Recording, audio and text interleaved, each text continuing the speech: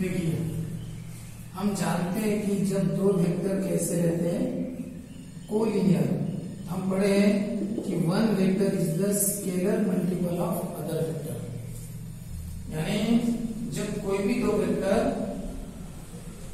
कैसे रहेंगे? Collinear. Collinear यानी एक लाइन में। ये पैरेलल भी हो सकते हैं। One vector is the scalar multiple of other vector ये अल्फ़ा स्केलर स्केलर है कि कोई भी नंबर तो यहाँ पे एक थ्योरम कहेगा क्या दिया उन्होंने?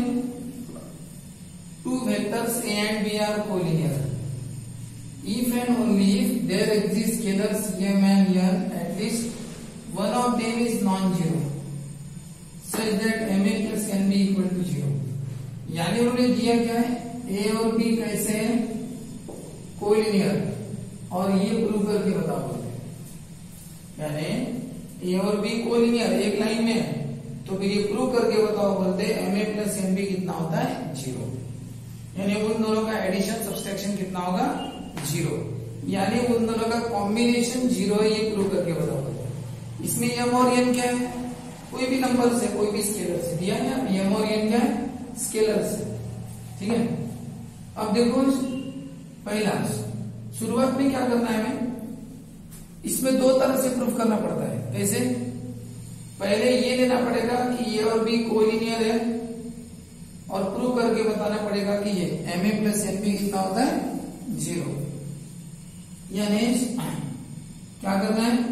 ए और बी कोलिनियर है। ऐसा पहले लेना है और प्रूव क्या करना है? M A plus N B equal to zero बाद में क्या करना पड़ेगा? M plus N B equal to zero लेना पड़ेगा और प्रूव करना पड़ेगा कि ए और बी कैसे है कोलिनियर ऐसा क्यों? यहाँ पे कौन सा वर्ड है देखो? If and only if if and only if जब रहता है ना तो डबल इफ़ है। तो जो डबल इफ़ रहता है ना, उसमें क्या होता है? दो तरह से प्रूफ होता है। पहले इसे गिवन लेना पड़ता है, ये गिवन लेना पड़ेगा। ये और भी कोई प्रूव करना पड़ेगा। कि उनका कॉम्बिनेशन ज़ीरो है। फिर दूसरा तरीका, फिर लेना पड़ेगा सपोज़ ये गिवन है। सपोज़ कॉम्बिनेशन दिया है प्रूव करो कि ये और भी कोलिनियर है। तो ठीक है, पहला पार्ट जो रहता है ना, वो ओनली इफ़ पार्ट है। और दूसरा कौन सा पार्ट है? इफ़ पार्ट हाँ। तो ये अपना ओनली पार्ट शुरू कर रहे हम। तो देखो, सबसे पहले, क्या लेना है? सबसे पहले हमें कि सपोज़ पहले लेना है ए और बी कोलिनियर लेना है suppose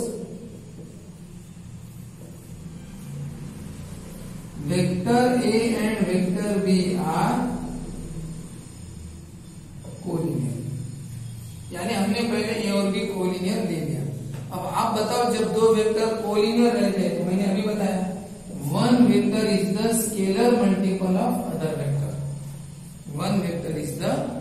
scalar multiple of other vector scalar का नाम कुछ भी ले सकते हो। Alpha, beta, T. लेकिन तुम्हें बताना पड़ेगा वेयर इज़ ए स्केलर और ये बताना पड़ेगा कि वो स्केलर ज़ीरो नहीं है। स्केलर का मतलब क्या होता है? कोई भी नंबर ठीक है? लेकिन वो नंबर ज़ीरो मत लेना। ज़ीरो करोगे तो क्या हो जाएगा? ज़ीरो इंटू बी क्या होगा? ज़ीरो इसका मतलब वेक्टर ए क्या बन जाएगा? ज़ीरो वेक्टर बन जाएगा ना? और ज़ीरो वेक्टर के लिए थ्योरम नहीं है ज़ीरो वेक्टर यानी क्या होता है? कुछ भी नहीं पॉइंट होता है। ये कोई तो भी वेक्टर है ना दोनों। जिनकी लेंथ है, कुछ तो भी। ठीक है कि नहीं? हाँ तो अब बताओ, हमें एक बात अच्छी तरह से बताया कि अगर दो वेक्टर कोलिनियर है तो one vector is the scalar multiple of other vector. इसमें टी क्या है? स्केलर है, यानी कोई तो भी नंबर है वो। बताना कि वो ज़ीरो नहीं है। फिर एक काम करो, आप इसको इधर लेके आओ। तो ये प्लस टी का इधर क्या होगा? माइनस टी अब बताओ, ये दोनों स्केलर है। इसमें स्केलर है वन यहाँ पे स्केलर है नंबर है वन और इसका स्केलर है माइनस टी हम क्या करेंगे? दोनों स्केलर की जगह ये वाले स्केलर लिख देंगे। यानी कैसा? वन की जगह यम लिख देंगे, और माइनस टी की जगह क्या लिख देंगे यम?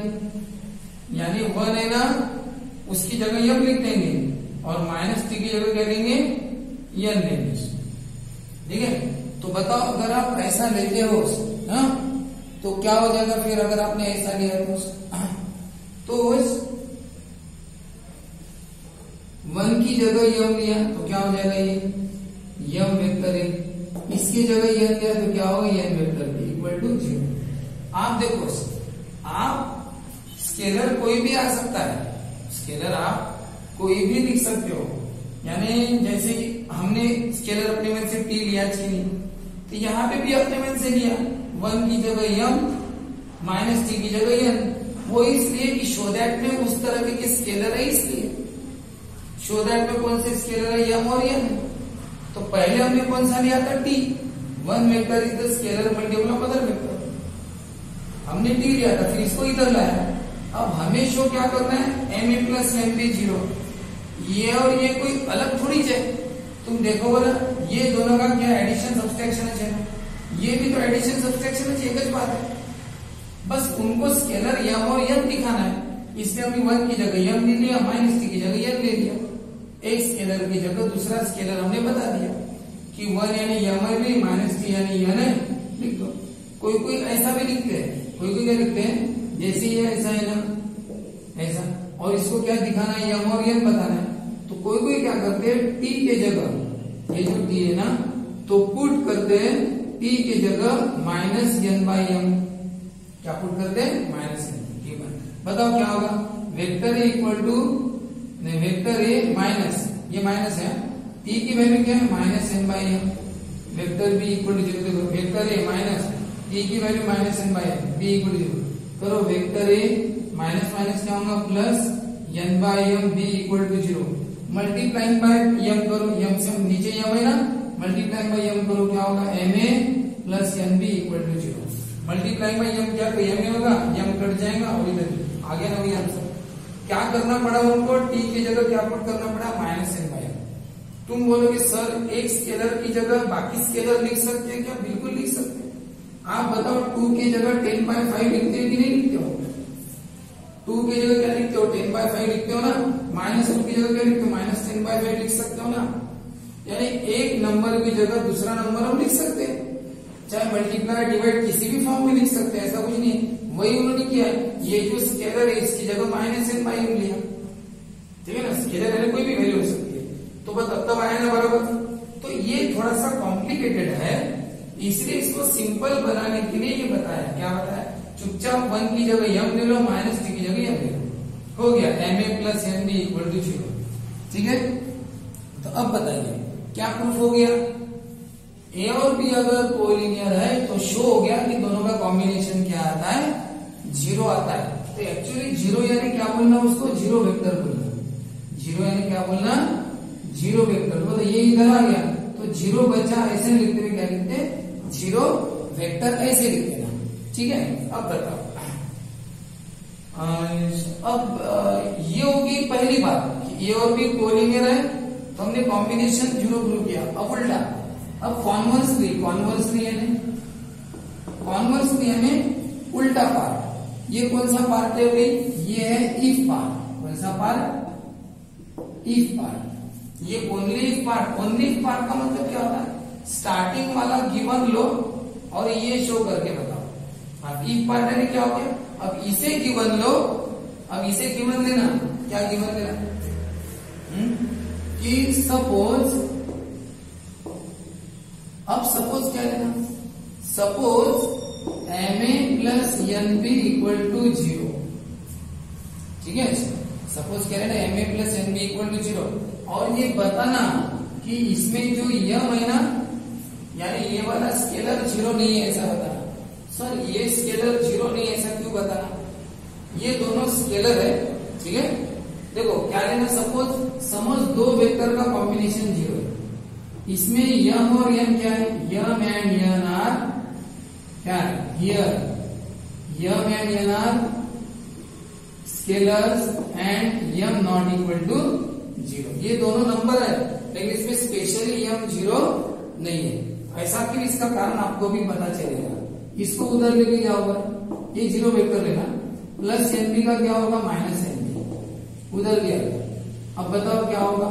यम ने मल्टीप्लाई किया तो यम ने क्या करो? डिवाइड इस यम ने मल्टीप्लाई किया तो यम ने क्या करो? डिवाइड नंबर है ना? नंबर को मल्टीप्लाई डिवाइड कर सकते अब आप बताइए, ये दोनों स्केलर है। ये दोनों स्केलर है। इन दोनों स्केलर से हम एक स्केलर बनाएँगे। कौन सा? टी वेयर बताएँगे। कि टी यानी कौन minus N Y is a scalar अरे, दो स्केलर की जगह एक स्केलर लिख सकते हो। मैंने थोड़ी देर पहले बताया था ना। माइनस इसको ऐसा लिख नहीं सकते दो स्केलर की जगह एक स्केलर वही है, ये दो स्केलर है, इनके डिवीज़न का आंसर हमने टी लिया। यानी दो की जगह एक स्केलर बताया। स्केलर स्केलर मिलके स्केलर ही बनता है। बस उसको छोटा फॉर्म लिखते हैं हमने अब बताओ।